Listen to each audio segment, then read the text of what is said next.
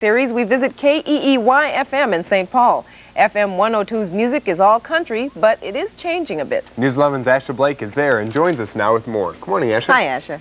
Morning, John. Good morning, Amy. And as you both know, this is the last station we're visiting for our Radio Days series. And some would say we saved the best for last. And one of the best, would you would say that?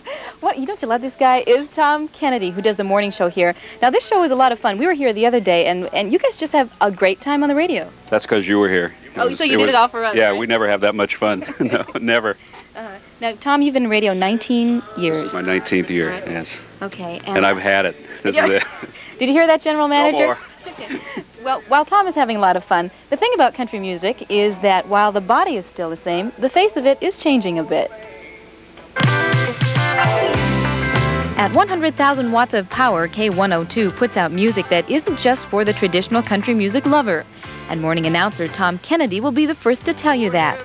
You know, it's not the guy in the cowboy hat and the uh, overalls anymore. You've got yuppies and uh, people driving around in BMWs listening to country music.